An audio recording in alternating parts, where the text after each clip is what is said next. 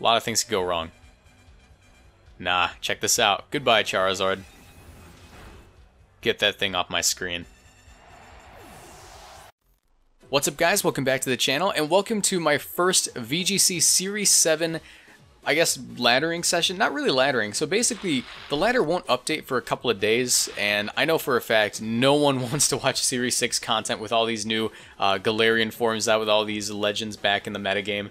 So we're gonna be we're gonna playing like a pseudo Series 7. I'm certain that there are gonna be some people trying out their new Pokemon on the casual battle uh, ladder. So unfortunately, that's gonna be the best place for me to get like a nice little uh, taste of what's to come.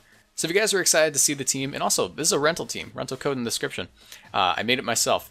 Uh, if you guys are excited to see the team, do me a favor, leave a like on the video, subscribe to the channel, and turn notifications because I'll be pumping out these. Uh, I almost said Isle of Armor Crown Tundra VGC videos uh, for you for the foreseeable future. But yeah, uh, trying to reach 20k. Let's go ahead and get into it. This is a team that I made pretty much like the first thing I wanted to do was run Expanding Force, uh, Tapu Lele plus Thievul. If you don't know, I've, I've pioneered Thievul in the VGC metagame. That's what I've heard. Uh, it's it's an excellent support Pokemon. I've written a whole bunch of little things about it, and I've used it a lot. I used it to qualify for Players Cup too. Uh, but yeah. Ooh, okay. So we have an interesting team here. This looks like a team that's actually extremely weak to Thievul. I can showcase Thievul immediately on this one. Let me go and lead off with Thievul and my boy Charlene, or my girl Charlene. What's up, Charlene? Uh, looks like we can actually see the nicknames here. So uh, the reason that Thievul Lele is actually an excellent lead here is uh, Choice Scarf Lele benefits from Thievul's Fake Tears, which it's super fast, gets a special defense boost after the Psychic Terrain sets off Psychic Seed and it gets Unburden activated. Um, and it's able to spam things like Fake Tears, Snarl, etc. Uh, for really solid damage. I'm also going to bring my Zapdos in the back here for fun because I just really want to use the Zapdos. And we're going to go ahead and bring Jason the Kartana. What can I say? I'm a big fan of Friday the 13th. Jason carries around a machete. Kartana's pretty much a walking blade, so it's a machete. It's a, it's a machete. He's Jason, man. But yeah, I'm so excited for this, man. I'm going to be recording some best of threes, which are going to be exciting, man. I'm, I'm excited to record best of threes with this new content. Like, uh, the, these new Pokemon just add so much to the metagame that I was missing, and I'm just super excited. I can't say it enough. Looks like they got some drip. They got the monocle. They got the armband. Uh, we have matching drip in my opinion, our drip is on par with theirs. Man, I have not seen Tapu Lele in-game yet. This is my first time using the team uh, on cartridge. I've used it on Showdown, like I said. I was up all night making this team. Uh, but now we get to spam Snarl and have just a wonderful time. So, if you don't know, my philosophy with beating Lapras, uh, most of the time they're running something along the lines of Weakness Policy, Gigantamax, my policy for beating Lapras is don't touch it. Wait for it to finish do its, doing its little thing. Beat its partners. Just get rid of it later. Um, because we're going to be two-shotting this, this um, what's it called? This Whimsicott anyways, I'll actually go ahead and just lead off with Psychic into it. I'd like to remove the, um, I'd like to remove the Focus Sash from it as soon as possible, just so I can actually, you know, knock it out and deal with its partner later on, because they're going to be setting up Tailwind here, and I don't want to have to deal with that uh, later on in the match, so let's remove the immediate threat. Lapras isn't too immediately threatening unless it gets the weakness policy boost.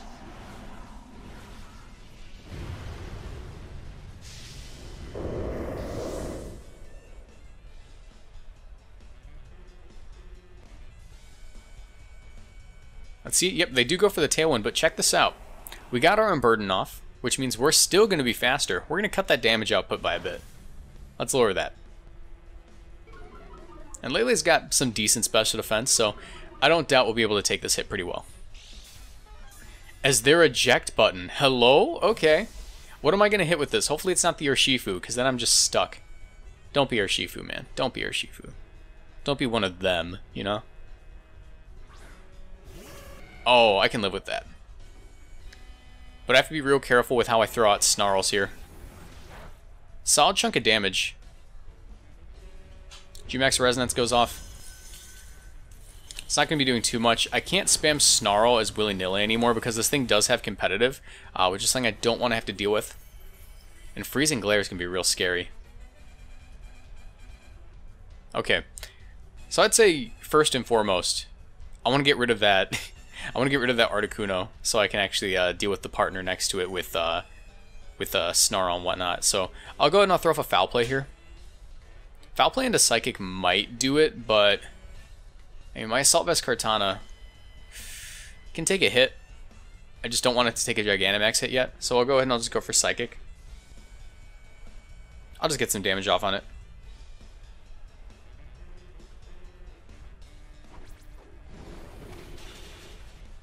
Alright. That's actually doing a pretty solid amount. Oh no. Dude, they watched my video. They know what's up. They watched my video. This thing's... Don't do this to me. Dude, he watched the guide. This man watched the guide. He knows what's up. I put out a, a moveset guide for this thing earlier today. He knows. He knows what's up. Alright, we can eat that up. We'll, we'll remove it from the field this next turn. Uh, I'm fairly confident we can with foul play, since we are outspeeding it. This thing's only got 95 base speed. I'm assuming they're a bulkier set, since I actually outsped them was able to go for that foul play. I'll send out Jason the Kartana, and I can show you guys some more cool tech with this team. Some more solid tech. Alright, so I believe it's definitely within range of foul play. and the reason I'm certain that's it's in range of foul play is because I just gave it the boost it needed to be in range of foul play. Um, let's go ahead and go for the max overgrowth. Just get that immediate uh, threat. Just get an immediate uh, damage boost off on it. And it's not like we need the Psychic Terrain anymore. In fact, it's only hurting us at this point. So we're going to go ahead and outspeed that uh, Galarian Articuno. And like I said, I am Assault Vest. I am going to be able to Dynamax. This thing's actually running max special defense. I think I'm like 188 speed, max special defense, 68 HP, something like that. Um, I made it. I, I, made the spread. I just don't remember what it was exactly by heart. All I know is that it's able to eat a hit when it's Dynamaxed.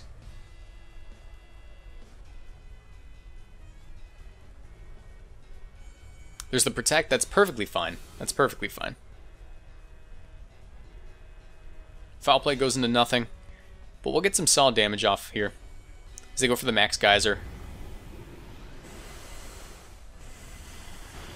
And we eat that up like Reese's Puffs, man. We eat that up like Reese's Puffs. Max Overgrowth's going to be doing a solid chunk of damage here. And we already know they're not weakness policy since the weakness policy was on, was on the Articuno. And dang, that thing's such a threat. That thing's such a threat. I'm so scared of it. It's 100% within range of foul play. And their Tailwind will be running out soon.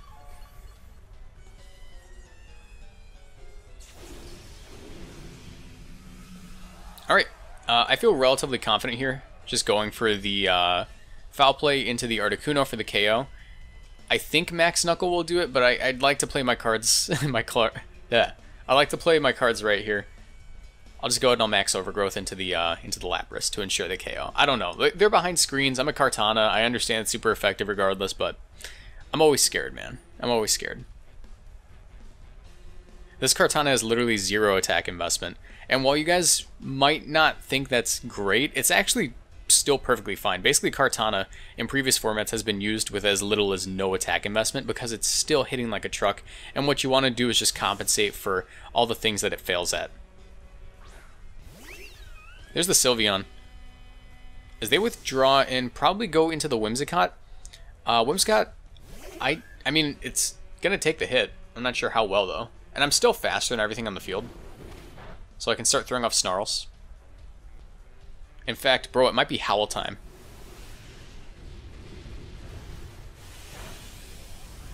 It might be Howl time. Dude, Howl time? I'm feeling it. I think it's Howl time. Because I'm going to be outspeeding, um, I'm going to be outspeeding that Whimsicott, and I can definitely take out this, I can definitely take out this, um, what's it called, Sylveon here with plus one. I think my play is to Howl. And do I max Airstream?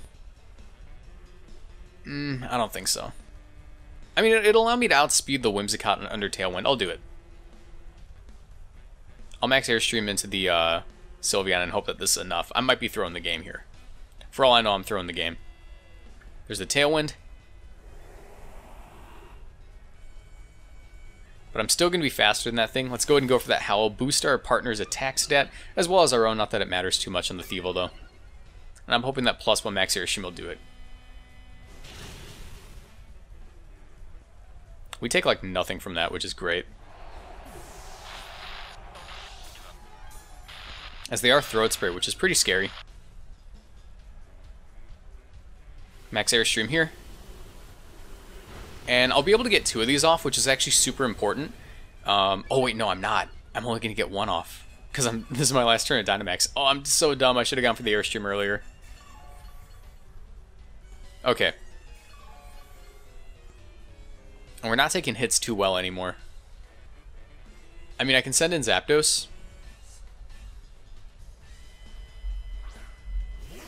Articuno doesn't want to take a plus one attack, so if I can get a KO here, I'm not in a terrible spot. I'll detect to ensure I take the hit. I think my play here is going to be always to uh, take out that Sylveon. And I think I'm faster now. I think plus one Kartana is faster than plus two Sylveon. Smart Strike will do it. I'm not too scared of the Whimsicott. Its damage output is much lower than the uh, than the Sylveon next to it.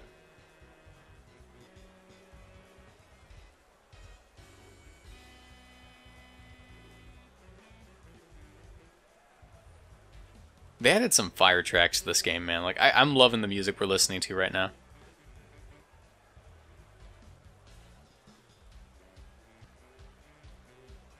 What I'm concerned about is a Mystical Fire, because plus one Mystical Fire might knock us out in the rain. There's the Moonblast. Tell me I'm faster than the Sylveon. Yes, I am. I'm going to get plus one now. And I am Assault Vest. Like I said earlier, I am Assault Vest, which means I am going to be faster, or I am going to be able to eat a hit from that Articuno, and then probably knock it out with this uh, Smart Strike. Rain stopped. That's actually great for me. Because uh, nothing on this team carries a fire move anyway, so I'm not benefiting from it. And on top of that, I, I just like don't want to have to deal with um, Lapras getting any kind of attack boost.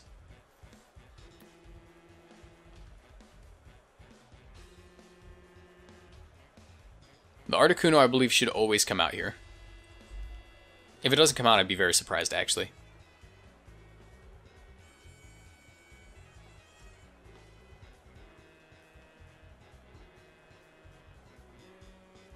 They're thinking, man. I was concerned that I was going to get like an opponent that didn't really know what they were doing because we are playing casual battles, but I'm excited. Like, this is a good opponent. They're playing really well.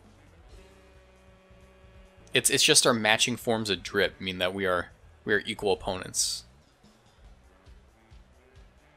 Articuno? Ooh, okay, I can live with that. In fact, I might be able to pick up a double KO here. Bro, am I going to get to see Thunderous Kick? I'm going to get to see Thunderous Kick. I'm calling it right now. Let me Smart Strike into that thing. I want to see this Thunderous Kick. I can take a hit, man. He has to double into this Artic he has to double into this uh, Zapdos to knock it out. There's no way that um, there's no way I get one shot from that uh, what's it called? The Whimsicott. There's just no way. Eat it up. Yo, please let me see this animation. I need to see this animation. I need to see this animation. This is what I need in my life. We get the Beast Boost. The game's pretty much sealed up there. They have to crit to win, I think. They have Blizzard. No! He didn't have to choose. Oh, that's so lame, dude. That's so lame. No. Okay, um... I mean, I'm faster than that thing, right? I'm faster than that thing. And I think... I have to think here. So how many turns of Tailwind are left? One? If I can eat a hit from the Articuno, I win. Because I just have to take out this uh, this Lapras. But Articuno hits real hard. Articuno's going to hit real hard here. Yeah, this is their last turn of Tailwind, so what I do here is I always go for the Leaf Blade into the Lapras. Because that's how I minimize the damage I take overall, I believe. Because I'm always going to be eating the hit from the Articuno anyways.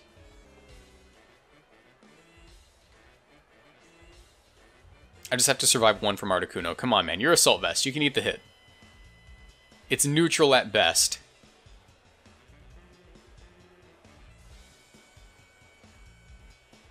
Oh my god, what if he freezes me at Freezing Glare? I'd lose it.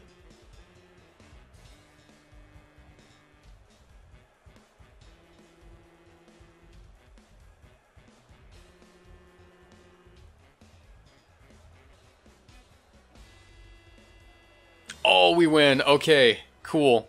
That's a win. Let's go ahead and Leaf Blade here. We made the right call. Knock that thing out. And now we get to knock out this uh, Galarian Articuno with Smart Strike, because I actually sped I, I speed crept this thing to outspeed base uh, 100 Pokemon. So uh, there's no way the Articuno outspeeds us now. Phenomenal. Let's go ahead and remove this thing from the field. Get off my screen, man. Good game to my opponent. That was a phenomenal game. They played so well. I was concerned we weren't going to get someone that knew what they were doing, but I could tell from that trainer card they knew what they were doing. Let's get one more. That was that was a solid match. I'm excited. Let's continue battling. I want to show off this uh, Zapdos. The whole point of recording this video is to get Zapdos in the thumbnail, man.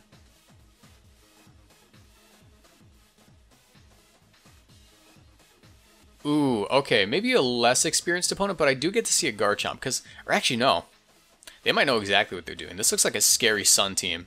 The, the Scyther threw me off, but that looks like a scary Sun team. Hmm. I think I have to lead off with, um... I think I have to lead off with Lele Thievul. I really, really, really want to bring my Zapdos in the back, but I know I can't. Oh, that hurts. That hurts me to say. Let me go ahead and bring the, the, Dragapult here. I'm bringing Zapdos at some point in this video. Whether it be this match or the next, Zapdos is showing up. He's going to be doing damage. I think my last Pokemon has to be the Dragapult. Or the, the Dragapult and the uh, Kartana. So I'll lock those guys in.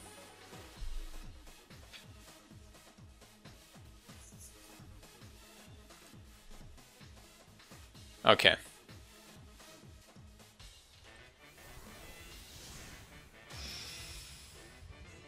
Let's see what they lead off with here. Uh, probably Whimsicott Charizard if I were them. That's the ideal lead, though. They don't know it, though. They don't know that that's the ideal lead for me.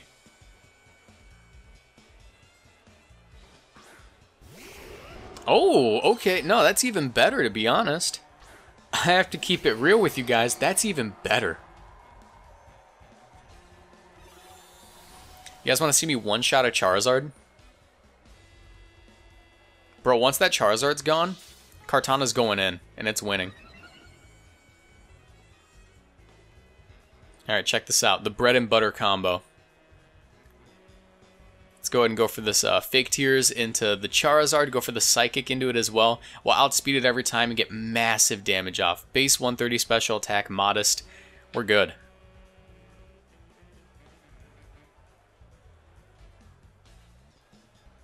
Watch it be Choice Scarf Garchomp and I just lose. they just poison jab crit me. You never know. Nah, check this out. Goodbye, Charizard. Get that thing off my screen. If there's no Whimsicott, I think I win. If there's no Whimsicott, I'm, I'm actually in a pretty good spot. In fact, I can Foul Play that thing. I don't even have to Fake Tears it. Foul Play into Psychic will do it. Or maybe just a straight up Foul Play will do it. I don't know.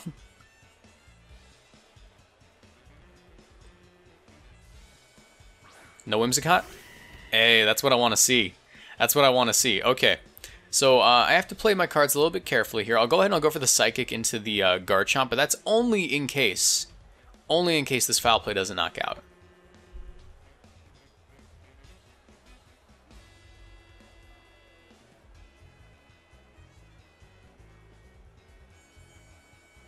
I just want to see this thing drop to a foul play. It's been a while since Thievul got a KO with foul play.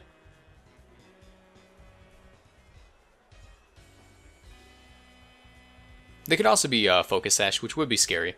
I think they would Dynamax their Garchomp here. At least I would. Because I'm, I'm locked into Psychic, clearly. And while it is going to be doing a lot of damage, I haven't revealed Foul Play or anything, so they should feel relatively safe, I think.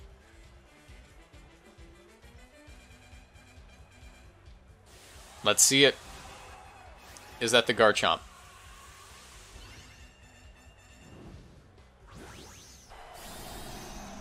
Ooh, no, it's the Cinderace, but I'm perfectly fine with that.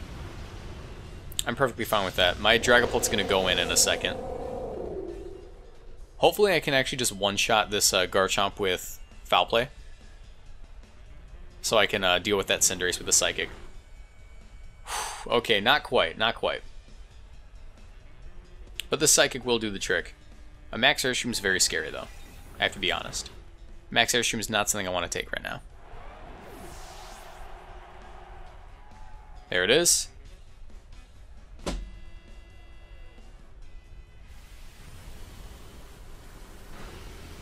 So, oh, you live?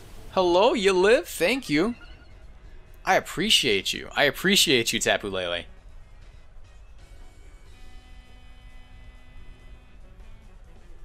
What's your last Pokemon? Milotic, okay. So it looks like Kartana's gonna have to... It's gonna have to wait a bit. It's gonna have to wait a bit. I think my play here is probably to fake tears into that Cinderace. I mean, I can try to Psychic into it, right? Because they should always just double into the...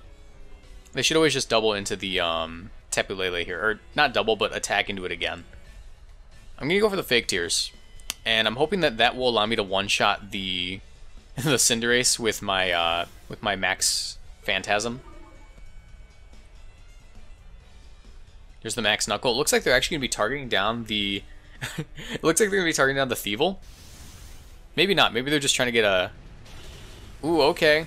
Okay, well, guess what? I'm faster than you with my Lele, so this thing's going down. This thing's gonna drop to a psychic. I guarantee it. You have the you have the Moxie boosted guarantee. Check it. that and he's fighting type now. I forgot about that.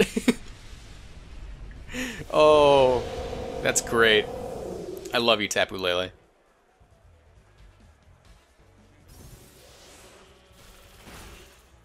Okay. Let's go ahead and send in the man, the myth, the legend, Jason.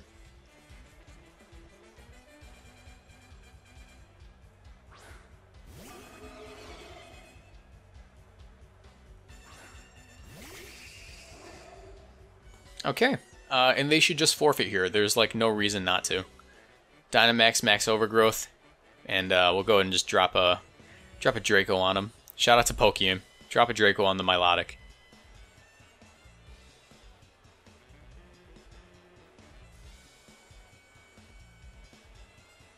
Ooh, as they opt to continue with the match, they don't forfeit.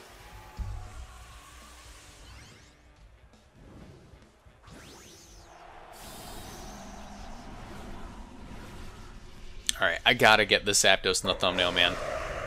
I gotta get the Zapdos in the thumbnail. I want to click Thunderous Kick. That's my thing. I want to face a Stakataka and click Thunderous Kick. Hit him with that Draco. Solid damage for a Milotic. That thing has massive special defense, so a little under 50% coming off of Timid Life Orb, Ma Timid Life Orb Max Special Attack Draco Meteor. That's gonna be that's that's respectable. And the job is done.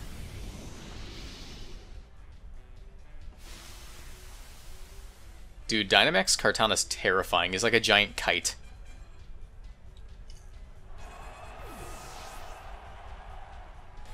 This team is honestly so much fun.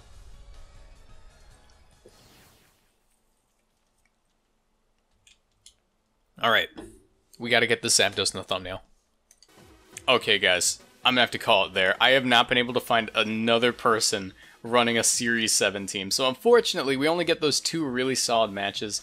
Uh, but they're still very very fun. Like I, I, had fun with the team. I had fun playing uh, but i've only been able to find like legendary teams so far. So yeah if you guys enjoyed this little showcase do me a favor leave a like in the video subscribe to the channel turn on notifications and i'll see you guys in the next video. Bye